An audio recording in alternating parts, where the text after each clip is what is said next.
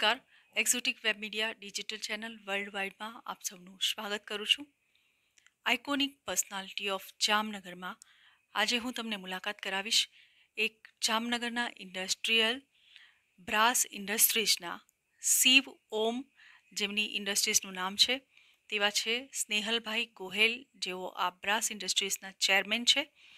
તો સ્નેહલભાઈ, આપનું સ્વાગત કરું છું અમારા આ કાર્યક્રમમાં અને સ્નેહલભાઈ સાથે વાત કરીશું કે આ જામનગર એક ઇન્ડસ્ટ્રીઝ સિટી છે અને આ ઇન્ડસ્ટ્રીઝ સિટીમાં આપ એક શિવ ઓમ નામની બ્રાસ ઇન્ડસ્ટ્રીઝ ચલાવો છો. તો કેટલા વર્ષથી આપ ચલાવો છો આ? શિવમ બ્રાસ ઇન્ડસ્ટ્રીઝ છે. છેલ્લા લગભગ મોર દેન ટ્વેન્ટી સેવન યર્સથી અમે ચલાવી રહ્યા છીએ. અને આ કંપની અમે નાઇન્ટીન નાઇન્ટી ટુમાં સ્ટાર્ટ કરેલી હતી. અને અમે જ્યારે સ્ટાર્ટ કરેલી હતી ત્યારે હું એક જ એમાં હતો અને એક જ મશીનથી અમે એટી સ્ક્વેર ફીટમાં આ કંપની ચાલુ કરેલી હતી. અને ભગવાન સ્વામિનારાયણની કૃપાથી આજે અમારા પાસે એક લાખ પચાસ હજાર સ્ક્વેર ફીટની લેન્ડ છે અને એમાં એક લાખ પચાસ હજાર ફૂટ જેટલું જ બાંધકામમાં અમારી ફેક્ટરી આવેલ છે. અને અત્યારે શિવમ બ્રાસમાં વર્લ્ડ વાઇડ અમે સેવન હંડ્રેડ એન્ડ ફિફ્ટી સાડા સાતસો જેટલા અમારા એમ્પ્લોઈઝ છે. અને મેજોરિટી અહીંયા જામનગરમાં અમારા પાસે પાંચસો એમ્પ્લોઈઝ છે. જર્મનીમાં પણ છે યુકેમાં છે અને અમારું પ્રેઝન્સ યુએસએમાં પણ છે. આ જે ઇન્ડસ્ટ્રીઝ ચાલે છે એ તમે કોની પ્રેરણાથી શરૂ કરી? કેમ કે તમે કીધું કે બહુ જ નાના લેવલને નાના પાયા ઉપરથી તમે આની શરૂઆત કરી તો એ કેવી રીતે થઈ? આની શરૂઆત એક નાઇન્ટીન એટી ફોર એટી ફાઇવમાં મારુતિનું પહેલું મોડલ ઇન્ડિયામાં લોન્ચ થયું હતું. એટલે અમારા એક ગ્રુપમાં એક ભાઈએ કાર લીધેલી હતી અને એ કાર લીધેલી ને એમાં હું એમની કારને અડ્યો અને મને ખીજાણા. એટલે મેં ફાધરને પૂછ્યું કે આ કાર કેટલાની આવે? એટલે ફાધરે કીધું કે તારે રોજનો એક રૂપિયો કમાવાનો બેતાલીસ હજાર દિવસ કામ કરવાનું. અને ત્યારે એ ગાડી બેતાલીસ હજાર રૂપિયામાં આવતી ઇન્ડિયન કરન્સી પ્રમાણે. એટલે મેં કીધું બસ એક રૂપિયો કમાવાનો ને બેતાલીસ હજાર દિવસ જ કામ કરો. આવી જાય. મેં કહ્યું, આવી જશે પપ્પા. એટલે તે દિવસથી પછી હું કામ કરતો થયો. પછી અગરબત્તી સિમેન્ટના બાચકા અને મીણબત્તી. આ હું અગરબત્તી મીણબત્તી ઘરે ઘરે વેચવા જતો. અને સિમેન્ટના બાચકા છે એ અમારી ઇન્ડસ્ટ્રીઝમાં પેકેજિંગમાં યુઝ થતા.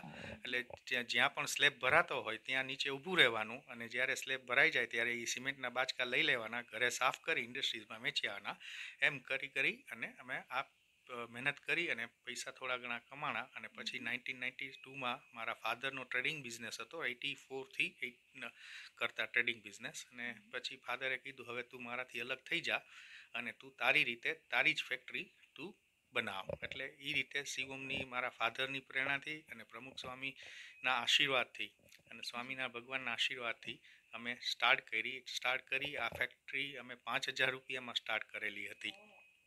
અને અત્યારે અમારું યુરોપમાં યુએસએમાં યુકેમાં અને એશિયન કન્ટ્રીઝમાં પણ અમારું સારો એવો માલ અમે એક બનાવીને એક્સપોર્ટ કરીએ છીએ. ખૂબ જ સરસ આપની વાત સાંભળીને એવું લાગે છે કે જે તમે જે પ્રમાણે મહેનત કરી અને જે પ્રમાણે તમે તમારું સપનું પૂરું કર્યું એ આજે કદાચ તમારું સપનું પૂરું થઈ ચૂક્યું છે એવું કહી શકાય. તમારું એજ્યુકેશન કેટલું હતું? જ્યારે તમે આ શરૂઆત કરી ત્યારે તમે ભણતા હતા કે ભણવાનું ચાલુ રાખ્યું હતું? એક વર્ષ હું ભણવાનું ઇલેવન્થમાં હતો આઈ થિંક ત્યાં સુધી મેં ભણવાનું ચાલુ રાખ્યું. ટ્વેલ્થમાં પછી હું ગયો જ નહીં હું ટ્વેલ્થ ફેલ છું. વાહ ખૂબ સરસ. એટલે મારો કહેવાનો તાત્પર્ય એ હતો કે આજે લોકો એજ્યુકેશનની પાછળ એટલા બધા ભાગે છે, એજ્યુકેશનને ખૂબ મહત્ત્વ આપે છે. અને આપવું જોઈએ. એજ્યુકેશનને મહત્ત્વ નથી આપવું એવું નથી. પણ એજ્યુકેશનની સાથે સાથે તમારા શોખ, તમે કઈ વસ્તુમાં રુચિ ધરાવો છો, એ બહુ મહત્ત્વનું છે. તમારો અનુભવ બહુ મહત્ત્વનો છે. જો તમારો એક્સપિરિયન્સ હશે તો તમે કંઈ પણ કોઈ પણ દુનિયાની કોઈ પણ ખૂણાને પાર કરી શકો છો. તમારી જે અચીવમેન્ટ છે એ તમે પૂરી કરી શકો છો. જેવી રીતે આજે આપણે સ્નેહલભાઈને મળ્યા અને એમની જે વાતો સાંભળી તો એક ઇન્ડસ્ટ્રીઝના ચેરમેન આજે તેઓ છે પણ તેમની જે સ્ટોરી હતી કે એમને ક્યાંથી શરૂઆત કરી અને કેવી રીતે કરી અને આજે ક્યાં સુધી તેઓ પહોંચ્યા છે. આ બાબતે હું એક કહેવા માગીશ. યંગ જનરેશનને જે સ્ટડી કરી રહ્યા છે કે ગરીબ ઘરના છોકરાઓ અ, છોકરીઓ હોય મીડિયમ ઘરના હોય કે પૈસાદાર ઘરના હોય, ગમે તે એજ્યુકેશન લેતા હોય, ત્યારે સાથે સાથે એજ્યુકેશન સાથે સાથે એ લોકોએ નાનું મોટું કામ કરવું જોઈએ. કે જેથી પ્રેક, જે નોલેજ આવે અને પ્રેક્ટિકલ તમે જેટલું કરશો, એટલો તમને વધારે અનુભવ થશે. થિયરિકલમાં આજકાલના યંગસ્ટર્સ છે, એ કટ કોપી પેસ્ટ કરે છે અને એમાં બીજું કોઈ હોતું નથી. એના કરતાં બેટર છે કે કટ કોપી પેસ્ટ કરતાં પ્રેક્ટિકલ તમે જ્ઞાન લ્યો. ભલે ગમે એટલો પગાર આપે, ભલે કેમ સો રૂપિયા નથી આપતા, પણ તમે કામ કરો અને સાથે ભણો, તો તમારું છે એ એજ્યુકેશન અને પ્રેક્ટિકલ કામ કરેલું ભવિષ્યમાં કામ આવશે આવશે ને આવશે જ. ખૂબ સાચી વાત કહી. હવે જેવી રીતે સ્નેહલભાઈ, આ ઇન્ડસ્ટ્રીઝના ચેરમેન છે, તો તેઓ અહીંયા એમણે કહ્યું તે પ્રમાણે એમના અહીંયા પાંચસો વર્કર આ જામનગર ખાતે વર્ક કરે છે. તો સાહેબ આપ વર્કરોનું કેવી રીતે ધ્યાન રાખો છો અને વર્કરને કયા પ્રકારની આપની ઇન્ડસ્ટ્રીઝ દ્વારા ફેસિલિટી મળે છે? હું પણ ગરીબ ફેમિલીમાંથી આવેલો હતો. મજૂરી કરી અને પહોંચ્યો છું. એટલે આજે મને ખબર છે કે મારા વર્કર્સોનું મારે કઈ રીતે ધ્યાન રાખવું જોઈએ.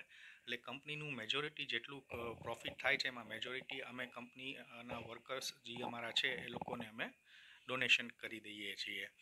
અને વર્કર્સ છે એ આ કંપનીના એસેટ્સ છે. અને કંપનીનો માલિક હું નથી, સાચા માલિક અમારા વર્કર્સ છે. કારણ કે they are working very hard for the company હું તો અહીંયા ટેબલ ઉપર બેસીને નિર્ણય કરતો હોઉં છું ખાલી. એટલે અમે વર્કર્સ માટે પહેલાં તો કેન્ટીન કરી છે. અમે પાંચસો એમ્પ્લોઈઝને ડેઇલી લંચ છે. એ ફ્રી ઓફ કોસ્ટ આપીએ છીએ. અને સાથે સાથે લંચ હું પણ અહીંયા લઈ, અમારું, મારું પોતાનું ફેમિલી પણ લંચ અહીંયા જ રહે છે, એટલે સારામાં સારી ક્વોલિટીનું પહેલાં લંચ આપીએ છીએ. પ્લસ એ લોકોને આવવા જવા માટે બસીસ છે, અને એ લોકોના પ્રોવિડન્ટ ફંડ પણ અમે પ્રોવાઈડ કરીએ છીએ. લોકોના મેડિકલ એક્સપેન્સ એના ફેમિલીનો મેડિકલ એક્સપેન્સ હોય, તો એમનો પણ અમે કંપની એને પ્રોવાઈડ કરે છે. એમાં કોઈ એજ્યુકેશન પણ અમારા વર્કર્સોના બાળકો માટે ફ્રી છે, કે ગમે ત્યાં ભણવું હોય, તો એ પરિસ્થિતિમાં અમે કંપની એનું જે પણ ચાર્જીસ થતા એજ્યુકેશન ચાર્જિસ હોય છે એ કંપની પે કરી દે છે. અને ઓલ રિલીજ બધા જ તહેવારો એ બધા કંપનીમાં જ એન્જોય કરીએ છીએ. અને ઉપરાંત દરેકના બર્થડે પણ કંપનીમાં સેલિબ્રેટ કરીએ છીએ. દરેક એવરી સન્ડે ટુ અવર્સ એ લોકોને કમ્પલસરી સ્પોર્ટ્સ એક્ટિવિટી કરાવવામાં આવે છે. એ ઉપરાંત વર્ષમાં ત્રણથી ચાર મેડિકલ મેડિકલ મેડિકલ કેમ્પ કરવામાં આવે છે. તેમાં ડેન્ટલનું છે આંખનું છે બ્લડ કેમ્પ પણ કરીએ છીએ. અને જનરલ કેમ્પ પણ ઘણા તે લોકોની હેલ્થ માટેના ઘણા બધા અમે કરાવ કરાવતા હોઈએ છીએ. એ ઉપરાંત એ લોકોને વર્ષમાં બે વાર પિકનિક પણ લઈ જઈએ. એ લોકો જ્યાં નક્કી કરે ત્યાં. અને પ્રેગ્નેન્ટ વુમન હોય એના માટે ટ્રાન્સપોર્ટેશન વ્યવસ્થા અલગ છે. કોઈને પણ પેલી દીકરી આવે તો પંદર હજાર એકાવન હજાર રૂપિયાની બેંક એફડી અમે આપીએ છીએ, જે પંદર વર્ષ સુધી તૂટી ના શકે. અને એ ઉપરાંત અમારે ત્યાં વધારે પડતી છોકરીઓ કામ કરે છે અને આજુબાજુના ગામડામાંથી ગરીબ ઘરમાંથી આવતા હોય છે. જો પાંચ વર્ષથી ઉપરથી કોઈ છોકરી અહીંયા શિવમમાં કામ કર્યું હોય તેનો લગ્નનો ખર્ચો પણ કંપની આપે છે.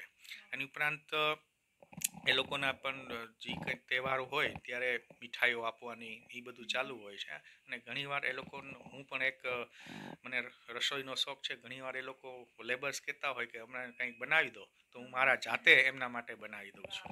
એટલે હું હમણાં તમારા શોખ વિશે પૂછવાની જ હતી તો તમારો શોખ તમે કહી જ દીધો પણ થોડું ડિટેલમાં તમારા શોખ વિશે આપણે વાત કરીએ. મને કુકિંગનો શોખ છે. એકચ્યુઅલી શોખ હતો નહીં પણ થયો છે કારણ કે હું ત્રણ વર્ષ યુકે રહ્યો.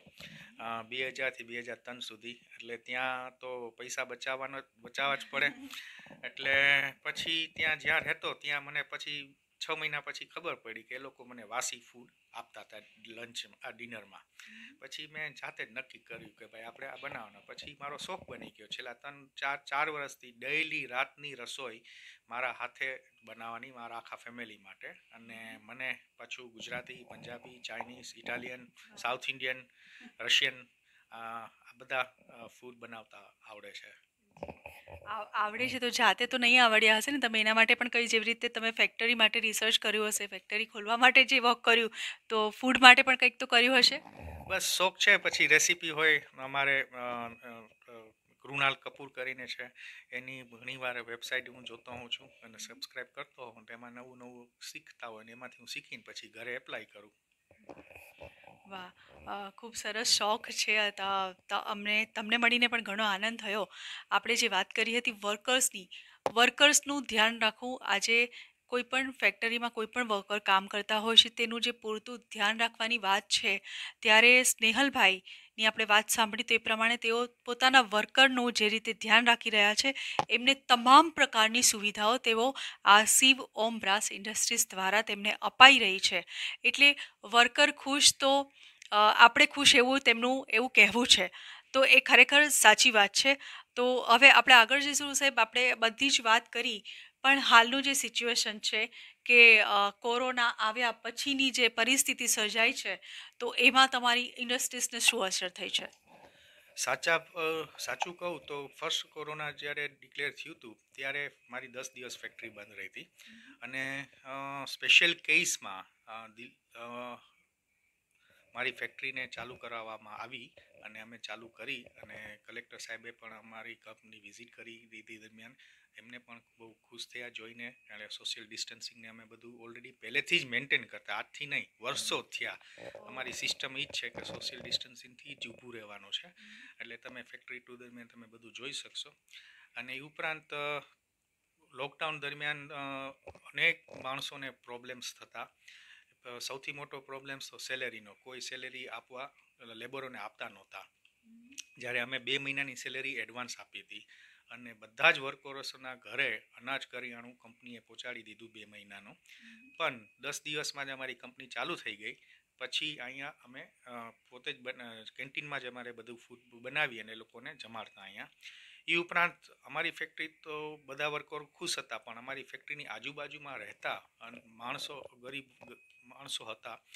એ લોકોને અમે ડેઇલી બપોરના અને રાતના જમાડતા. એમાં રોટરી ક્લબ ઓફ જામનગરનો પણ મને મદદ મળી ડિસ્ટ્રીબ્યુશનમાં અમે લગભગ અઠ્યાવીસ હજાર માણસોને, અમારા વર્કર્સ સિવાય અઠ્યાવીસ હજાર માણસોને અમે આ લોકડાઉન દરમિયાન જમાડ્યા.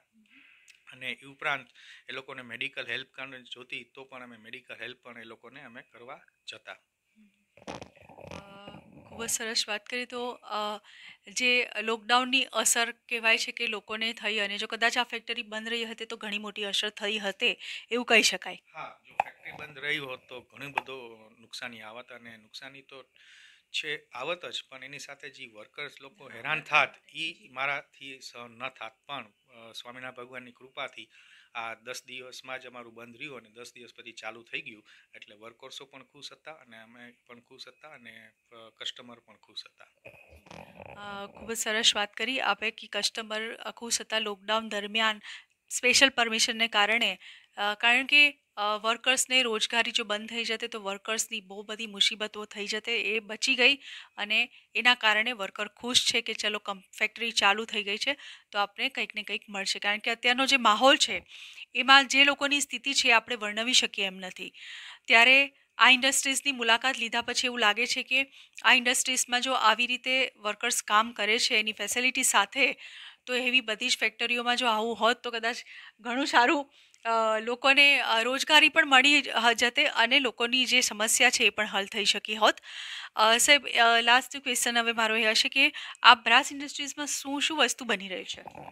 અમે જે બ્રાસ ઇન્ડસ્ટ્રીઝમાં જે અત્યારે અમારી ઇન્ડસ્ટ્રીઝમાં અમે બધી ટાઈપની પ્રોડક્ટ્સ બનાવીએ છીએ. જે પ્રોડક્ટ્સ બનાવી છે ઇલેક્ટ્રિકલ ઇલેક્ટ્રોનિક એરોસ્પેસ અને એન્જિનિયરિંગ અને ઓટોમોબાઈલ સેક્ટરમાં અમારે પ્રોડક્ટ્સ આવે છે. એટલે અમારા પ્રોડક્ટ્સમાં છે એ ડીઆઈવાય શોપમાં ન મળે. અમારે જે પ્રોડક્ટ હોય એ એન્ડ યુઝર્સ હોય એના માટે બને છે. એટલે કસ્ટમર છે એ પોતાના અમને ડ્રોઈંગ્સ આપે. એ ડ્રોઈંગ્સ ઉપર અમે પછી સ્ટડી કરીએ. સ્ટડી કરીએ પછી અમે કસ્ટમર પાસેથી એના અમને ઓર્ડર મળે છે. એટલે બધા સ્પેશિયલાઇઝ પાર્ટ્સ જ અમે બનાવીએ છીએ. જી. તો જરૂર આપણે આ ઇન્ડસ્ટ્રીઝની વિઝિટ પણ કરાવીશું. તમને અને વિઝિટ કરીશું કે આપણને ખબર પડશે કે જામનગર એક એવું સિટી છે જે ઇન્ડસ્ટ્રીઝ સિટી તરીકે ઓળખાય છે, તો આપણે હવે મુલાકાત કરીએ આ શિવ ઓમ બ્રાસ ઇન્ડસ્ટ્રીઝની.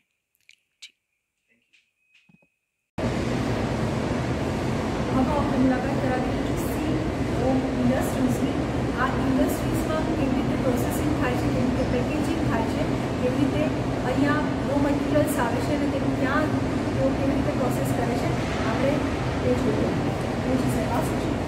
અમારું ઇન્વર્ટ ડિપાર્ટમેન્ટ છે. એટલે અમારી મેઇન રિક્વાયરમેન્ટ રો મટીરિયલની રિક્વાયરમેન્ટ્સ હોય છે brass material copper aluminium stainless steel zinc એટલે કોઈ પણ રો મટીરિયલ સપ્લાયર પાસેથી આવે, એનું સ્ટોરેજ અહીંયા આપણે કરવાનું હોય છે.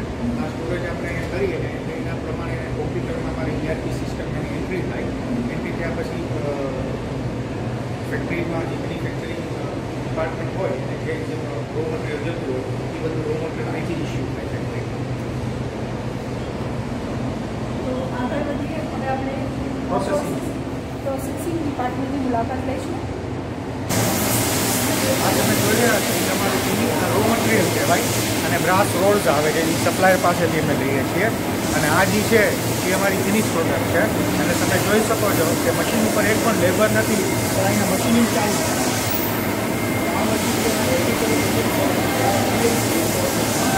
મશીન મશીન ઓપરેશન છે એ આ મશીનમાં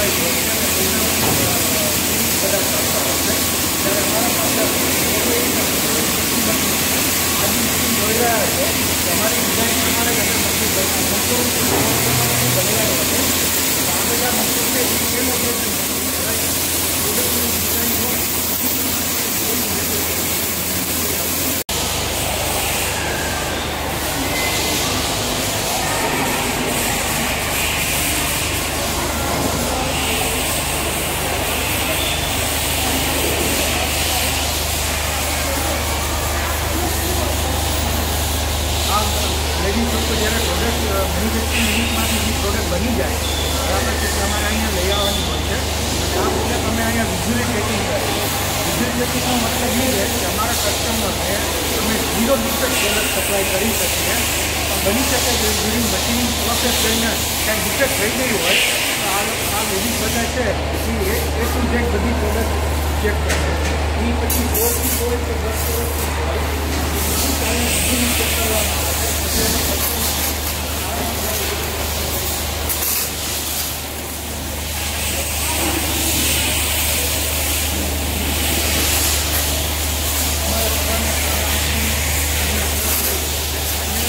યુનિટમાં બધા મેજોરિટી છોકરાઓ હોય. ફોર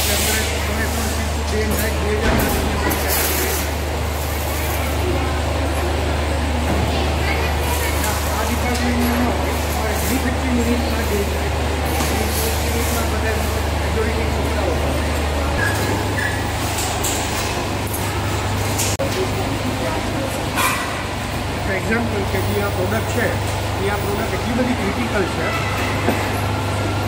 એટલી બધી ક્રિટિકલ છે કે એને બાર કરતાં દસમો ભાગ, જો અમે એરર રહી ગઈ ને, તો આ પ્રોડક્ટ રિજેક્ટ થઈ જાય. આ પ્રોડક્ટ છે ડિફેન્સમાં જાય છે. એટલે અમારે એનું ખાસ ચેક કરવું પડે. એટલે આ ટાઈપના અમે ગેજીસ ડેવલપ કર્યા હોય છે. એ અમારે ગેજીસમાં આનો જે ઇનર ડાયામીટર હોય, એ આ રીતે ગો અને નો ગોમાં આ રીતે ચેક કરે તમે જોઈ શકો જો આમાં જાય છે. આમાં નથી જતો. એટલે ઓકે જો આમાં આવેલો જાય, તો આ પાર્ટ રિજેક્ટ એટલે એક્યુરેસી ચેક થાય છે. બધા ટેબલ ઉપર તમે જોઈ શકો, દરેક ટેબલ દરેક એમ્પ્લોય અલગ અલગ પ્રોડક્ટ સિલેક્ટ કરે છે. આમાં આ લોકોની માસ્ટરી છે. એ લોકોને કેવું રીતે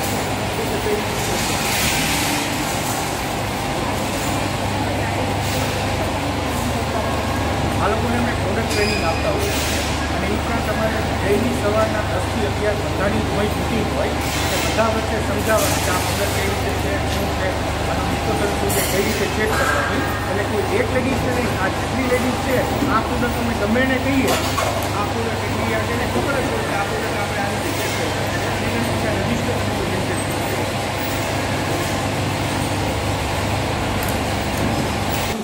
ફાઇનલ પેકિંગ જે પ્રોડક્ટનું સ્ટાન્ડર્ડ હોય છે. તો પ્રોડક્ટના સ્ટાન્ડર્ડ પ્રમાણમાં પીઆરટીમાં બધી ઇન્ફોર્મેશન હોય. એ જ પ્રમાણે અમે બોક્સ લઈએ. બોક્સની અંદર અમે પછી એના વજન પ્રમાણે અ, આનું પેકિંગ કરીએ છીએ. આ જોઈ શકો છો અલગ અલગ ટાઈપના અહીંયા કેટલા બધા બોક્સ કર્યા છે. બોક્સ આ બોક્સ પેલેટ ઉપર આવી જાય પછી આ ટાઈપના પેલેટ બોક્સ કહેવાય અમારે. આ પેલેટ બોક્સ હોય. એની અંદર આ બધા બોક્સ છે. એ આ પેલેટની અંદર ચાલ્યા જાય. અને આ પેલેટ પેક થઈ જશે. તમને પેલેટ પેકિંગ ચાલુ છે, એ પણ તમને બતાવું છું. તો આપ શકો કે અમે પેકિંગ છે એ કઈ રીતનું છે. પ્લસ અમારું આ પેકિંગ છે એ એકદમ સ્ટાન્ડર્ડ પેકિંગ છે. આ બોક્સ ઉપર અમારે તમે દસ હજાર લીટર પાણી નાખશો, તો પણ એ બોક્સ ભીનું બની જાય. અને એના ઉપર દસ હજાર કિલો વજન રાખશો, તો પણ એ બેન્ડ નહીં થાય. એટલે આ પ્રોડક્ટ તમે અહીંયા જુઓ છો, તમારી ડ્રેસેબિલિટી હોય છે એ ખાસ ઇમ્પોર્ટન્ટ હોય ડ્રેસેબિલિટી બરાબર છે? હું તમને સમજાવું કે ટ્રેસેબિલિટી શું છે. કે આપણે ત્યાં રો મટીરિયલ આપણે જોયું, બરાબર? ત્યાંથી અમારા બેચ નંબર જનરેટ થયા હોય, તો ફાઇનલ પેકિંગ સુધી આવે છે. તો અહીંયા તમે જોઈ શકો છો, અમારા બેચ નંબર હોય. આ બેચ નંબર ઉપરથી અને બારકોડ સ્કેનિંગ સિસ્ટમ છે. આ બેચ નંબર ઉપરથી કોઈ પણ કાંઈ પ્રોબ્લેમ હોય, ખાલી અમે બેચ નંબર છે એટલે અમને એ ખબર પડી જાય કે રો મટીરિયલથી લઈને ફાઇનલ ડિસ્પેચમાં ક્યાં ક્યાં એમ્પ્લોયનું કઈ કઈ જગ્યાએ ઇનપુટ હતું ઇનપુટ પ્રમાણે અમે કોઈ ડિફેક્ટ આવે તો અમે એને પકડી શકીએ એટલા માટે. એટલે આ ફાઇનલ પેકિંગ છે. હવે આ ફાઇનલ પેકિંગ નાના નાના બોક્સ મોટા બોક્સમાં અમે નાખીએ છીએ. આપ જોઈ શકો છો કે આ- બધા બોક્સ છે. બરાબર છે? એ હવે સીધા મોટા બોક્સમાં જશે અને ફાઇનલ પેકિંગ થઈ જશે. તો હતું ફાઇનલ પેકિંગ ડિપાર્ટમેન્ટ તો હવે આપણે લાસ્ટ મોમેન્ટ ઉપર જઈ રહ્યા છે અને ફાઇનલ પેકિંગ કેવી રીતે થાય છે ત્યાં પહોંચીશું તો હવે આપણે જવાનું છે ડિસ્પેચની પાસે. અહીંથી ડિસ્પેચ થઈ જાય એવી અહીંથી એવરી વીક તમે જે આ બધા જોયા ને બરાબર છે એ એક એક રોજ મૂવ થશે મૂવ થઈને પછી અહીંયા આવશે. અહીંયા બધું ફાઇનલ પેકિંગ થઈને અહીંથી સીધું બહાર ડિસ્પેચ થઈ જશે આપણે આ વિઝિટ કરી ઓમ સી ઓમ ગ્લાસ ઇન્ડસ્ટ્રીઝની મુલાકાત લીધી અને સ્નેહલભાઈએ ખૂબ સરસ આપણને આ ફેક્ટરીની વિઝિટ કરાવી, તેઓ જે ચેરમેન છે અને અહીં કેટલા વર્કર્સ કામ કરે છે, વર્કર્સની ફેસિલિટીઝ શું છે અને આ ઇન્ડસ્ટ્રીઝમાં કેવી રીતે વર્ક લોકો કરે છે, કેવી રીતે પેકિંગ થાય છે, કેવી રીતે માલ, મટીરિયલ તૈયાર થાય છે, કેવી રીતે બહાર ડિસ્પેચ થાય છે, આ તમામ વસ્તુ અમે આપણે શેર કરી આજે તમારી સાથે.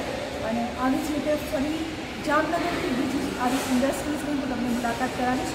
ત્યાં સુધી મને રજા આપશો અને સ્નેહલભાઈ આપનો ખૂબ ખૂબ આભાર કે ખૂબ સરસ તમે અમને વિઝિટ કરાવી. મોસ્ટ વેલકમ અને આપને એક સંદેશ આપવા માગું છું કે એમ્પ્લોઈઝ હોય સ્ટુડન્ટ્સ હોય તમે સ્ટુડન્ટ્સ હો તો તમે ખાસ મારી બધા સ્ટુડન્ટ્સોને રિક્વેસ્ટ છે કે તમે સ્ટડી સાથે સાથે કોઈ પણ જોબ સાથે ભલે એક કલાક જોબ કરો બે કલાક કરો પણ તમે જોબ કરો.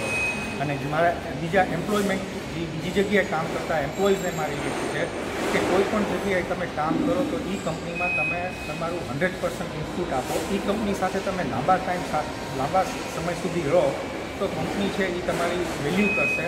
આજે જનરેટ એવું થાય છે બધે પાંચ પાંચ હજાર માટે જોબ ચેન્જ કરતા રહ્યા છે. તો જે ચેન્જ કરશો એમાં તમારો અનુભવ નહીં રહે. તમે એક જ કંપનીમાં તમારી હંડ્રેડ પર્સન્ટ ઓનેસ્ટીથી કામ કરશો તો કંપની છે એ તમારું સો ટકા ધ્યાન રાખશે રાખશે. ખૂબ જ સરસ તો સ્નેહલભાઈનો ફરીથી આભાર. અને આવી રીતે પાછી બીજી આપણે ઇન્ડસ્ટ્રીઝની મુલાકાત કરીશું. ત્યાં સુધી મને રજા આપશો. નમસ્કાર. Thank you